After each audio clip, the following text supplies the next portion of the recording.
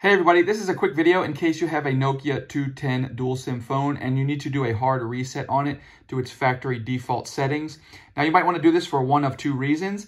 Um, the first reason would be for troubleshooting. If your phone is not working right, um, or if it's not connecting, or if it's bugging, or any issues like that, you can do this hard reset. Also, if you want to sell this phone or give it away, uh, then you can go ahead and do this. This will wipe everything off of the phone.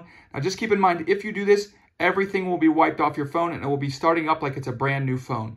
Um, so keep that in mind before you do this. But if you want to do that, all you need to do is turn it on. And when you're at the home screen, we're just going to come down and we're going to press a series of keys. So we're going to press the star key, pound key, seven, three, seven, zero, pound. If you hit those keys, that will initiate a hard reset to the factory default settings. Star pound, 7370 pound keeping in mind your phone will be completely wiped.